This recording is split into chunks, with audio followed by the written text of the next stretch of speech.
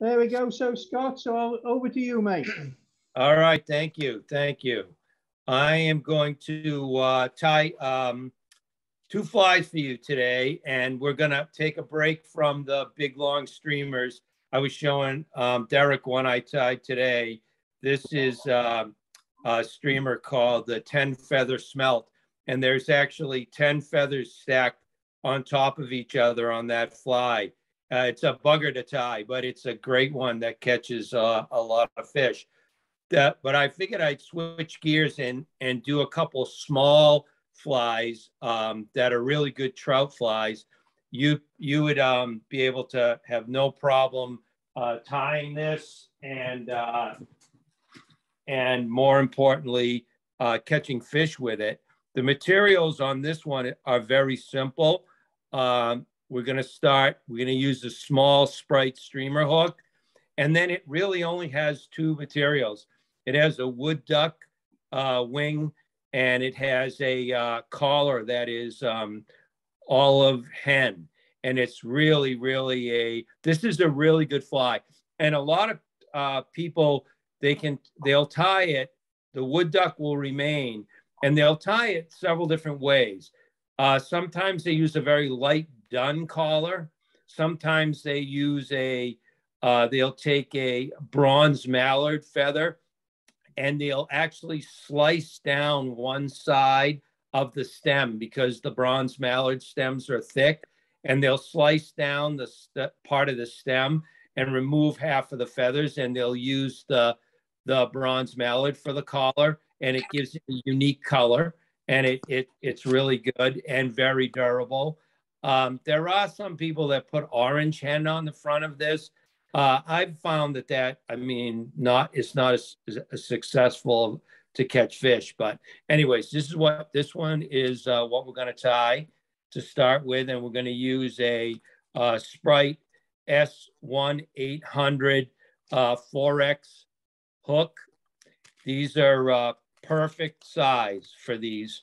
And the good part about um, these hooks, if you've if you've talked to any of of us who use them, you'll find that these are these are made with um, a really strong steel, and because they're made with that really strong steel, they'll actually bend before they break.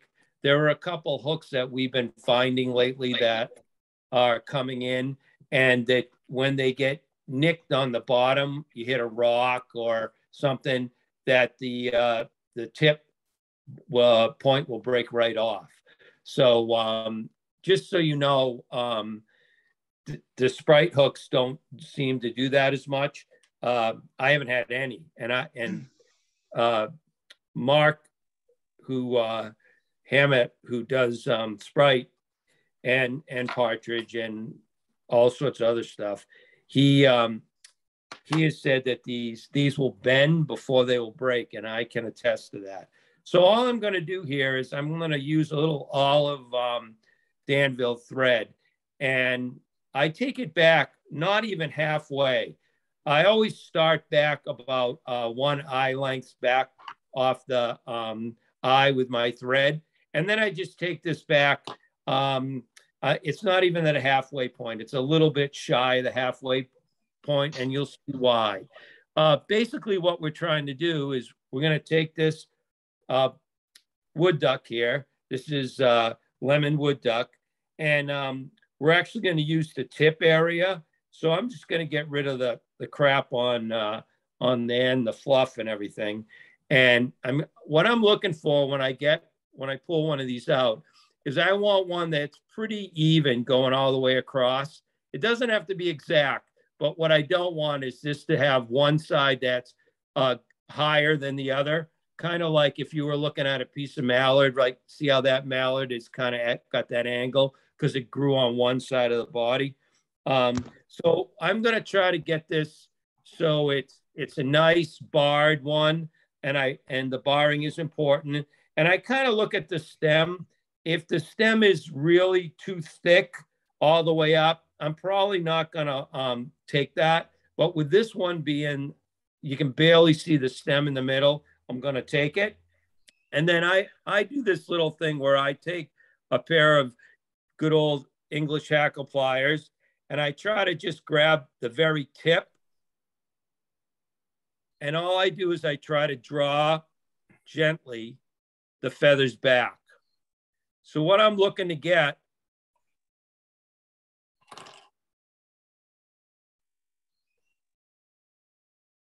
is something that looks like this.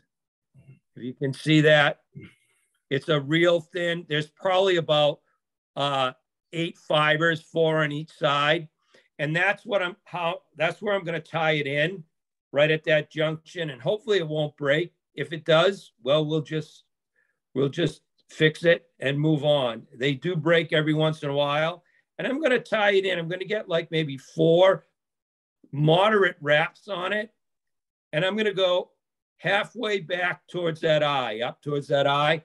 And then I'm going to just draw those feathers back the, where I tied it in and kind of double over them.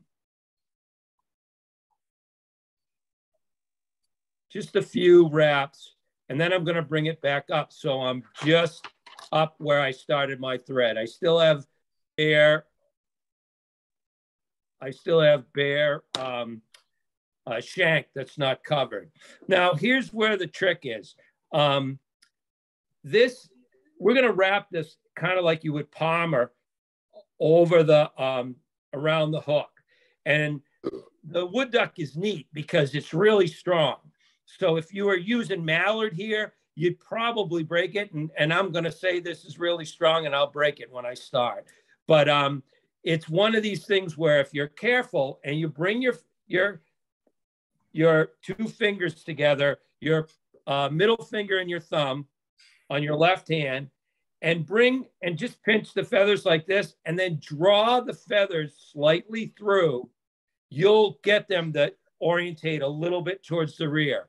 And that's all I'm looking for, just a little bit. And then I take a wrap around.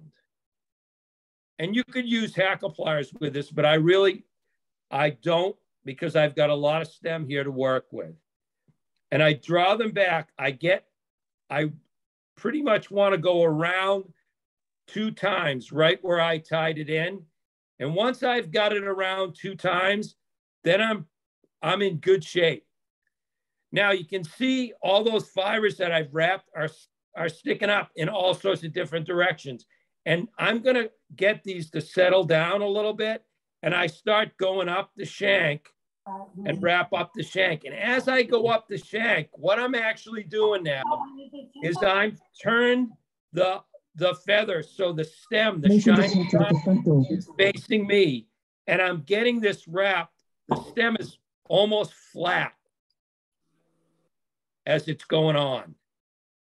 And what as it's doing that, the feathers that are are being wrapped around first kind of collar underneath the ones that are going on top.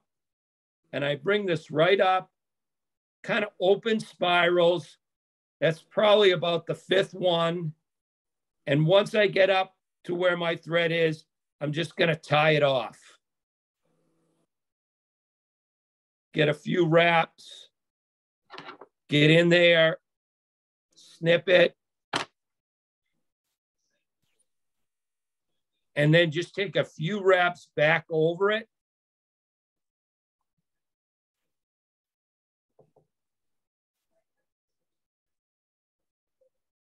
And all I'm going to do is just get it as it was wrapped around. It kind of went around the hook and I'm going to train them all back.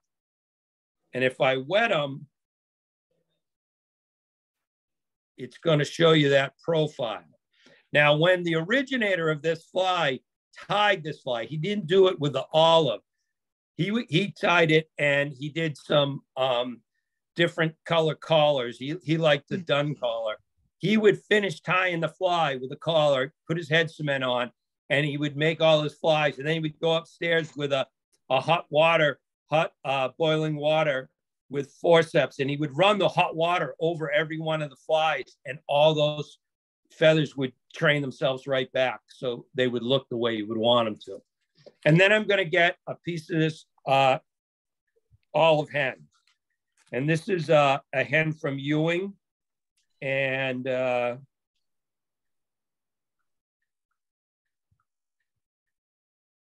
Derek, does Bob Bob Swan still have any more of that? Um, I bet he does. He may even have this color. He, he's, away on holiday at the moment.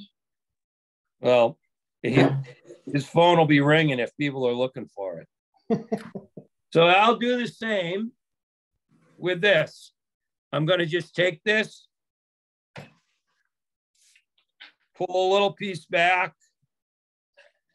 The hen is not as strong. So you can see I got a little piece there. I'm just going to trim it. So I have a small tri triangle to tie it in. Tie it in shiny side forward towards me. Just get a couple loose wraps and then crank it down. And now I'm covering that uh, front of the shank. The reason I left that bare is I just want, I don't want a really big head if I, if I don't have to get one. So by doing that, I'm going to, um, I'm going to have less thread up front. And it's the same thing, just a nice little collar. Get a couple wraps. Once you got one wrap on, you're usually in pretty good shape and you shouldn't have any that's going to break on you. And just take this, draw it back,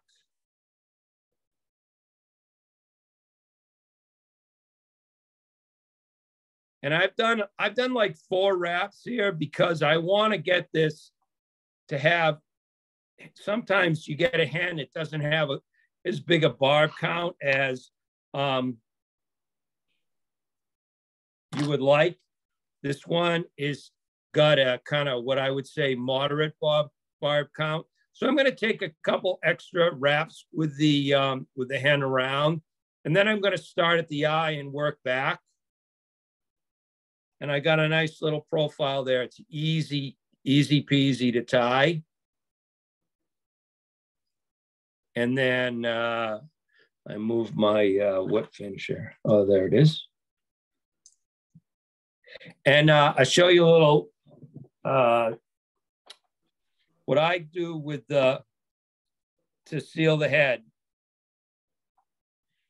is just put a little on the thread.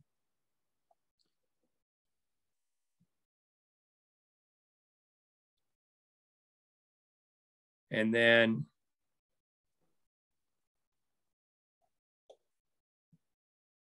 that helps it get right into the fibers. And then I can just take a little bit more. And this is, when I do this, this is really thin down uh, varnish, real thin, like almost 50-50. And all I'm looking for is it to get get into the the thread. I'm not really concerned with a big shiny head here. All I want is that, that to penetrate in and really lock those uh, lock those uh, lock those uh, thread wraps so they're not going to come undone. Because this is a fly that we use when we fish it over here. We fish this with uh, either full sink fly line or sink tip.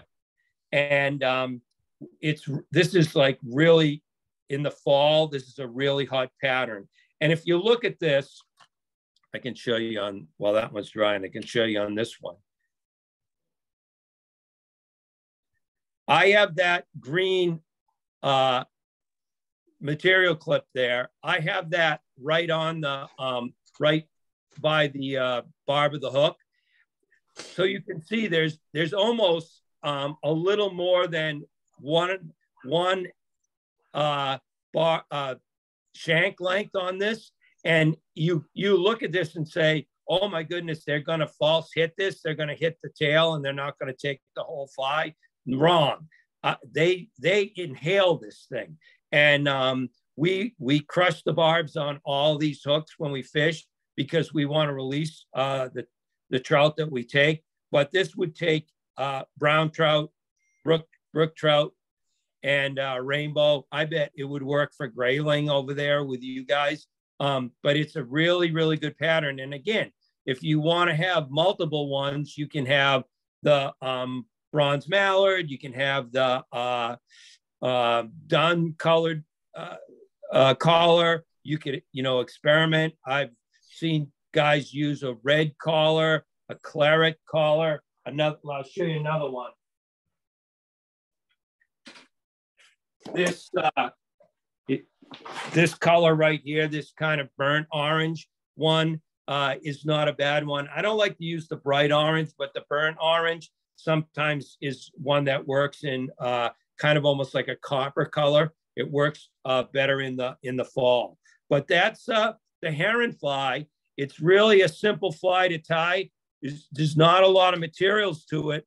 Um, you just got to get a, a, really good uh, load of wood duck feathers so that you can um, that you can use them because you know you'll get uh, you'll get a good day fishing. You, you know unless you lose the fly, that that's a durable fly. It's going to hold up real well. But the key to that is when you wrap that wood duck around, you put that first wrap all the way around and then come around again towards you.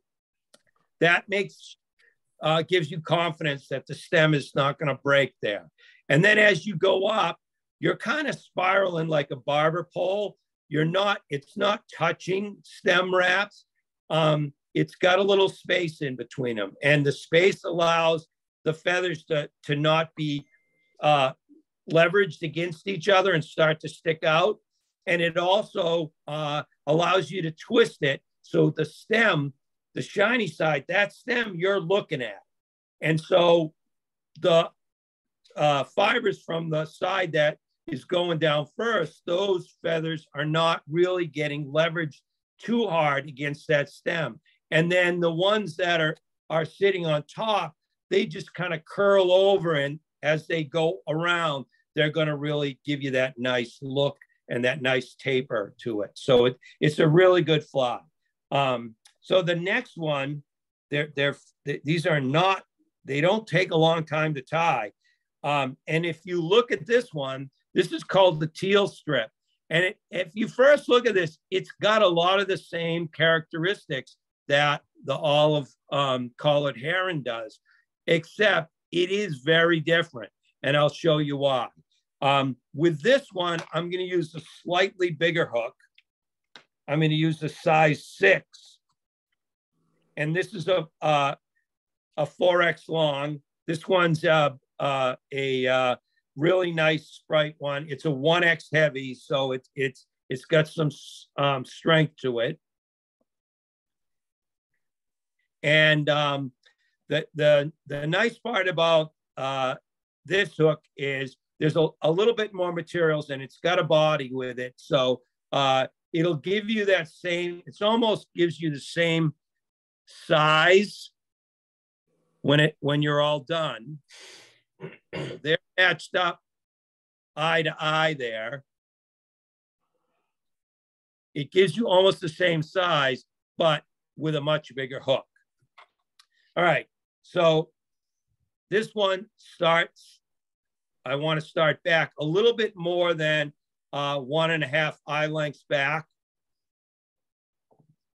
Gotta get this in here. Okay.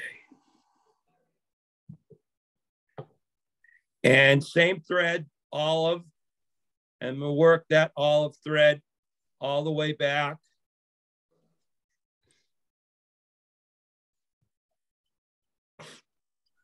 and I'm trying to cover the shank. So when I get down to the point, I get rid of the, the tag, and then I just go back. And with these Sprite hooks, if you line it up right where the barb starts, that's just about the end of the shank. Now, what I'm going to use for the body is wool. And you all, I'm, I'm pretty sure, will be uh, um, familiar with different companies with the with a piece of wool. You you go and you buy it, and it's three dollars or whatever it, it, costs over over in the UK, but you get a, you know, maybe five yards, three yards, and it's um, it's expensive. You go to a yarn shop and you can find the same stuff um, and try to get it. It's not synthetic. Try to get it with wool, and you're you can you have a lifetime supply if you buy one roll of the of the stuff. This is um, got two uh, two pieces in it, wound.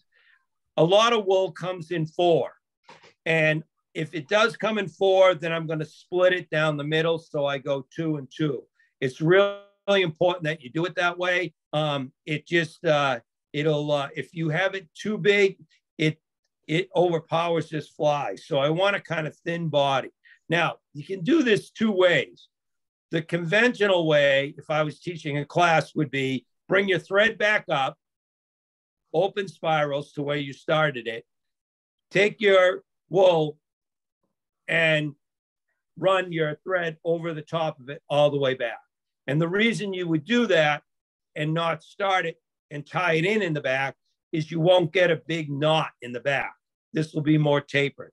But if you've ever seen me do floss or or um, tinsel with my big streamers, the way I do it is different. I take the tag end, point it towards the back. I reach around my thread with both fingers and I cradle my thread with that material. And then I press it together and put it in my left hand. I grab my bobbin with my right hand and I rotate the, my fingers to the opposite side. And then I just bring it up and I pull my bobbin towards me. And I pin that material right to the far side of the shank. And then I can just work my way up and what I want to do is get this waist underneath the shank. And I don't need to have uh, touching wraps. I can have open spiral, but I want to keep bringing it up so that waist is on the bottom. So I adjust it because the thread tension wants it to move. You can get, if you tie a lot of uh, material like this, you can actually get yourself trained so that you can get like maybe three or four wraps before you have to reach in there and adjust it. And basically what you're doing is when you come around and your your bobbin is up in this position up here, you give it the tension right there and sucks it straight up, uh, as opposed to keeping the, the tension even. It's a little it takes a little bit of time to get used to and practice, but once you get it, you're good to go. All right. So I get it all wrapped in, and now I'm going to start to wrap it up the hook. And one of the things with this is if you keep bringing your fingers up the wool with a lot of tension on it, you'll actually start to pull some of the fibers. You'll be, what you're doing, it's almost like combing the fibers straight and taking the twist out and you'll start to pull some of the fibers out of the material and it'll get thinner and thinner. So basically it's just hand it with a touching wrap. Just hand it back and forth. It's like I'm very, very, very slightly allowing this to, to kind of go through my fingers. And it, it gets a little bushy, but bushy is good. and it, it even can give you a little bit of a segmented body. And it, I don't know if you can see it on your side, but if you can, now you can see right about where my finger is, there's a little bit of bump. Well, that little bump was some extra material that was sewn into this. And so uh, you got to live with it. I, it's in the, in the end, it's up to the fish. So if they don't like that bump, well, too bad. And I always cut enough of this stuff so I, I can do two or three flies. Now, some tyers will get out the old uh, Velcro and they'll pick at this and pull some of the fibers out to make it bushy. I don't really do that. because after you catch the first fish, there's so much slime on this thing that it isn't going to really make a big difference. So I don't really worry about that. Um, and then all I'm going to do, I always do this with when I do body materials, is I'm just going to do a two turn whip finish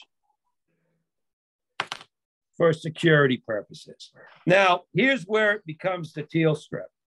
So it, you look at it and you think it, it's got um, one wing, but it really has multiple wings.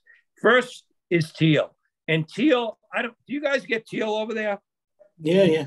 Yeah. You, you probably get more than we do. I, I, it's really hard to get teal here. And, um, you know, they, they just don't get as much, um, the, the hunters don't see them as much. So what I'm looking for with this teal is again, that profile. I don't really want one side overloaded. All right. Again, I'll pull this mallard up. It's overloaded on one side because this grew on one side of the bird. And I'm going to do the same thing that I did with the wood duck. I'm just going to pull a little bit off the bottom. And here's the trick with this. This is the wing. And this is going to be a flat wing. It's going to sit right on top. And what I'm going to want with this is I want the tips to end up just slightly, maybe one bodkin width beyond the hook bend. That's all. So you can do this several different ways. A lot of people will tie it in flat and draw it forward. And as they, if they draw it forward more than like maybe three or four fibers, then what happens is everything sticks out because again, it's putting so much tension on the front and you're capturing so many behind your thread that it's going to um it's not going to do as as uh go in smoothly and keep those feathers trained back. So what I do is I just put it on top. I put it to where I basically want the tips. And then I reach in with my bodkin and I give it a little tick there to pull it up, the fibers out and I'm close. I'm getting close to what I want. Then I'm going to take this material in my fingers and I'm going to roll it back and forth. And for most fly tyers, they're going, What are you doing? But now look at what it's done. It's trained that. You got a nice curve. It's pulled all those fibers together. I lay that wing right on top and I just take one wrap now, I always put the, the thread and the wing on top of the very last wrap of the body. If you do that, you don't get the wing to kick up. The next wing we put on, not, not a problem because the stem is gonna keep it from jacking it up. That's also a reason why you only use the two um, pieces of wool because if you use four, it's still going to try to kick that wing up on you, and you don't want that. So then all I do is I got one wrap on this. I just adjust it to where I want it, and I take a few wraps forward, and then I look. And if you look at this, I that wing actually sticks out a little more than I want it to. So I'm going to try. I usually only have three wraps on it while I do this. I'm going to take my fingers and pinch just lightly to hold it in place. Then I'm going to take the stem and draw it up at an angle, like a 45 degree and forward. And once I do that just slightly, you can see it didn't torque any of those uh, fibers where I've tied it in. And if you pull it up at an angle and forward, it's not going to draw the thread, all the thread forward and roll it off where you tied it in. So it really that's that's a perfect wing. That's exactly what I want. So I'm going to wrap forward a couple wraps and trim it off. And at this point, if you wanted to, you could just give it a little touch of varnish, just a touch. I will.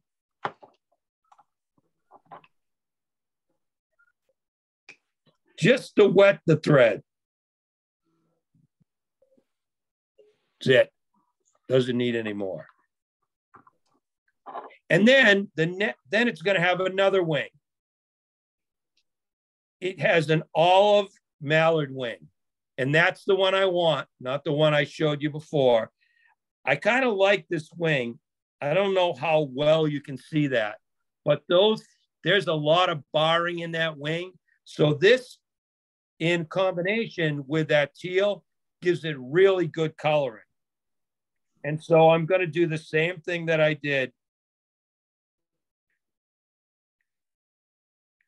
I'm going to take some fibers off each side and then get it to where I want.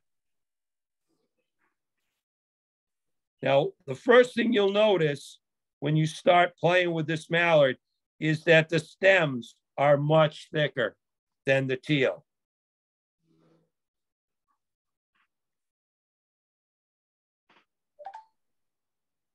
And the heavy stems, if they're too thick, they'll make this fly not work as well.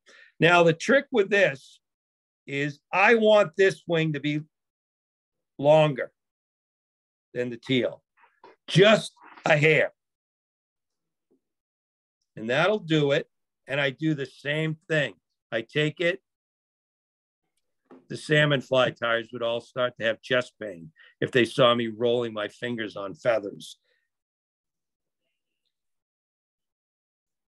And I'm tying it in just a little bit forward of that piece of, where I tied the, the teal in. And if you look, you can see it's a little bit longer. Can you see that? Try to separate them so you can see it.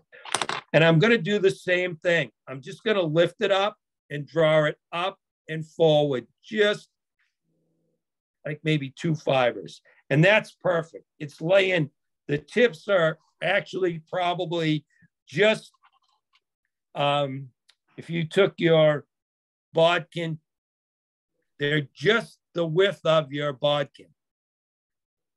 I know it sounds like I'm being real, pick, real picky, but it makes this fly really work well if you tie it that way. Reach in, snip it off. Now it's going to get a collar and it's going to be a hen collar. And what I'm going to do now is I'm going to just wrap all the way up to behind the eye and then all the way back. And what it what I've done is I've I've got myself a nice ramp to tie that uh, hen on. And then I'm gonna get, this is a big old hen burrow here. I'm gonna get the hen and I'm gonna look.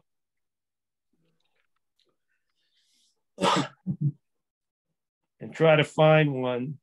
This is, uh, I will tell you, this is a ginger color, a natural color. If you know, if you, it's like golden retriever uh, dog color. The, I've tried dark brown. I've tried uh, barred, almost like grizzly, uh, brown. I don't know. All I can tell you is this is the uh, the color that makes this this fly really tick. And I want to make sure that the fibers are not going to over uh, cover the whole body. I want this to, to end well before the point of the hook. And I do the same thing. I take the feather, I put the hackle pliers on the very tip. I draw back. I always tell when I teach a class, when I teach them this, I always say you can only draw back once because with hen, it's they're real sensitive. If you draw back too many times, you're going to start ripping fibers off both sides. And then I'm going to trim that point, and I want to trim it so that I don't have to trim it when I tie it in. I take the shiny side towards me. I put my thumb right behind where I separated the feathers. And I try to get my thread nice and flat and open. And I tie this in. And, the, and it should hold itself in place. Now I'm going to uh, get hackle pliers. I'm going to stand this straight up. I'm going to do the same thing. Pinch it and draw it forward through my fingers. I don't want to bring my fingers back. I just want to draw the feather through my fingers. When I do that, it pulls them back gent a little bit more gently, and then I'm going to start to work it around. That's And a as handy, handy tip that is, Scott. What? That's a handy tip that is. Oh yeah, it is. It is. Uh, let me get this wrapped in, and I'll tell you. I'll tell you why. A lot of a lot of the. So I'm going three, and I'm going to come up into four.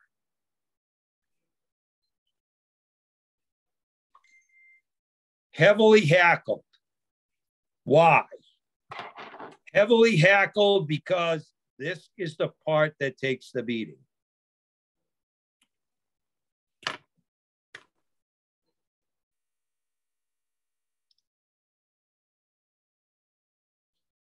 Wrap it in, start from front to back. And now you got it trained nice. It's nice and it, it's in there really well. If you take the, the material and you draw it back, what happens is twofold. One is where that um, point has been tied in, you're you put a, a lot of tension on that when you pull back because you're you're putting tension on uh, the feather right where it's tied in. At the same time, you're trying to train it back. When you hold it and pull it forward, you're still kind of holding that piece right in and you're preventing it from yanking it back. You're yank, you're kind of just drawing it forward. And there are, there are, and there's nothing wrong with it. There are people that will take it and they'll rip their scissors up the sides and they'll just force every one of these fibers to kind of crunch over, but they the fibers break a little when you do that. And and hen's not it's not really strong. You know, wood duck, different story. F- Those wood duck fibers are in. They're they're like concrete in there. But the hen ones not so much. Um, so if you draw it forward, and you could even draw it forward with Let me take one here and show you. You could even take it and get it ready to, to tie in.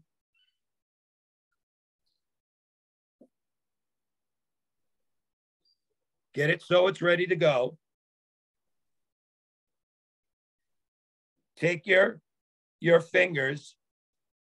I've got the hackle pliers on the bottom of the stem pinch your fingers,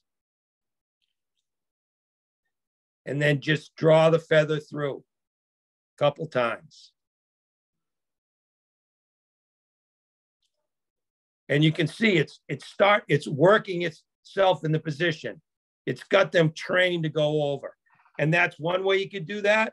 Um, some people put hackle pliers on both ends and they train them and they do it that way. Um, I just do it after you break a couple, you know what your kind of strength is, and you just take it down just below the break point and do it that way. But it works great. And then you can actually take these feathers once they're in place and pinch them. And once you pinch them, look at the difference. They train right down because I didn't break the fibers. I just took them real easy and I, I gently worked them over.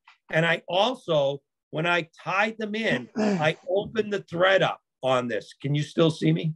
Yeah. Yeah. Okay. I opened the thread up so the thread fibers are wide open. They're not corded. So like I couldn't use Veevus on this. This is a um, a thread that I can spin counterclockwise and open them up. If you use the thread that's really corded, then it'll it'll cut those fibers on its own. So you just want to be aware of that. And then you can do the same thing.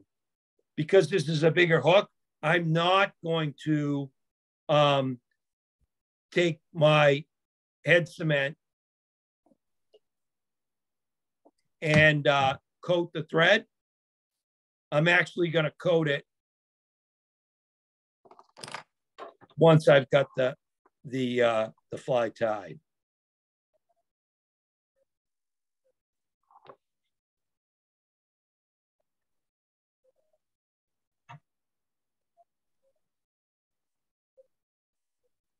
And if you get um, any of the,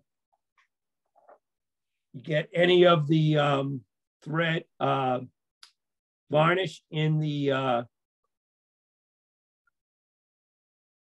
eye, I'm looking for a piece that I can use here. Probably got one. Oh yeah, there we go. Just take uh, take a piece of um, of the waist of the hen, stick it the stem in the eye, and then pull pull the feather through like this. And it'll wick all of that uh, varnish out of the eye, and it and it you're already throwing that away. But it, that's a good um, that's kind of a good uh, little tip because a lot of times you'll get out there and you'll you'll go like this with your um, bodkin a couple times to clean that eye out. Um, but somehow you when you pull your bodkin out, it's still it's got a little bit of a coating to it, or it doesn't. It's got a little ridge in it when it hardens, and then you're out there and and the wind's always blowing and it's always cold and you're holding your tippet trying to get it in there going who the hell tied this fine? You know Don, well it's you. And so it, it it just makes better sense if you have it cleaned out before you before you go. Um, so there, that's these are two simple flies. Look at the profile on that. It's nothing to it. When it gets wet,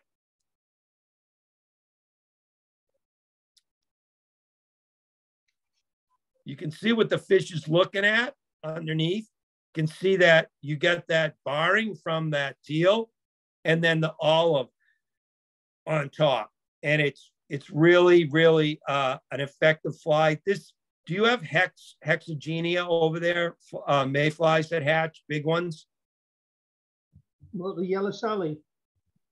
Okay, so the Sallies are small. These ones we have here are big. They're they're they're close to Sallies, but they're they're actually bigger and they're usually um, they they're a night they release at night um, and this is a good emerger for a hexagenia and uh, it's a great it's a great hex pattern we get those hex hatches where um, the ponds or the areas that we're fishing in have a real muddy bottom um, they'll get we'll get hexes and green drakes and uh, they're only they only kind of hatch in the late of late day, and um, if they are not taking them off the surface, this would be the fly one of the flies that would work um, to use. So, so there's two uh, simple patterns, uh, sprite uh, sprite hooks.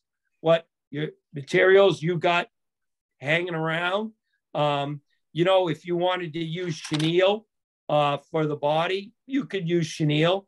Um, I like the wool only because I, I, think the wool gives it a richer color in the water, uh, and the chenille gives it a little bit more of a of a less natural color in the water.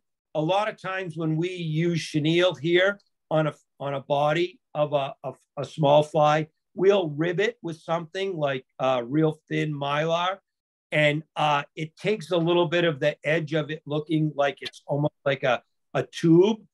This is a little more natural, and as the fish starts to hit this, and um, you catch a bunch, you're going to find that that wool starts to have a little bit of fibers around that come out, which is great um, because it gives it a more natural look to the body and a little less of a uh, of a you know kind of a I don't want to use the word plastic, but you know it's it's it's more natural is what it is. And uh, again, great fly, uh, easy to tie. You know, uh, you could do a half a dozen to a dozen of these in you know uh, 45 minutes, and but it these produce fish over and over and over. You, you know, there are other patterns that um, imitate these same uh, insects, but if you, if you said Scott, you can only take a couple flies, those two would definitely be flies that I'd be fishing with, and I find that they work all year round for us. Um, they're, they're not just limited to a certain time of the year. They they they will work all year long, and uh, and and the fish will come up and hit them, and uh, you know it's it's worth trying and having a couple in your box. So, and does anybody have any questions? The deathly silence. That's okay. Come on, okay. guys. No, okay. So simple patterns, right? Um, easy to tie. I sent uh, Derek the recipes. If you have a question on them or anything, uh, I um, you can send me an email or uh, WhatsApp app. I'll uh, respond back to you with whatever information you're looking for. Uh, and uh, you know, I'll volunteer again to come and do a big streamer again. Um, get you ready, and hopefully uh, everything will work out. And I'll be over there at the BFFI this year, and uh, and uh, you know, if you're around, uh, love to meet you. And uh, we'll be there for a little bit. I don't know where. I'll have to look at a map, but if you guys have a, a night where you're doing a, a fly tying around that, and I'm there, uh, and and I can get to that to your area, I'll I'll slide over and uh, you know do one in person for you. So uh, just keep. We'll talk before that, anyways. But if you want me to do another uh, streamer for you in this in the fall, perfect, anytime. Magic. Thank you. Scott, I'm sure uh, the uh, pottery fly ties would like you to give them a demo.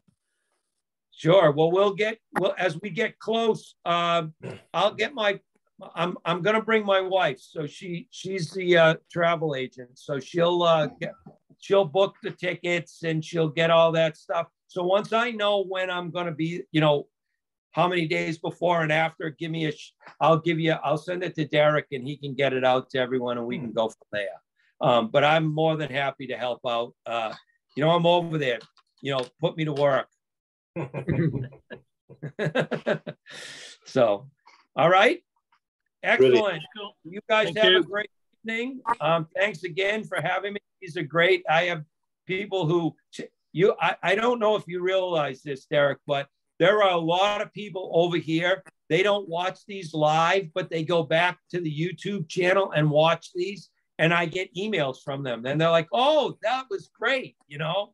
Um, so they because it's the middle of the day for us, they don't they don't always register and but they go back and watch it and um it's it's great it's a great you know you should know that they're uh, definitely uh, uh liking that so It's, it's kept everybody together and kept people interested, isn't it? yeah we're just at t- uh saturday and i and i think it'll be 7 30 your time but i think the american fly fishing museum facebook page i'm going to do a, a live presentation for them but i'm going to we're going to be over there in vermont and um, it's the first time we've done something similar to this uh, in this will be it'll be three years since we did the last one so we're hoping we're going over the the edge here and uh, and getting more stuff uh, so uh, in person because it's this, these things have been great. They've kept everyone together, but everyone likes to, you know, to be there and tie with you and whatever it is. So, all right. Excellent. Thank you very much indeed. Cheers. Okay, guys, all have a great Thanks, night. Scott. And you. Thank you. Cheers, Cheers, Scott. Zach. Cheers, Scott. See you, Cheers. Derek. Bye-bye. Cheers, Scott. you. Thanks. Thanks, Scott.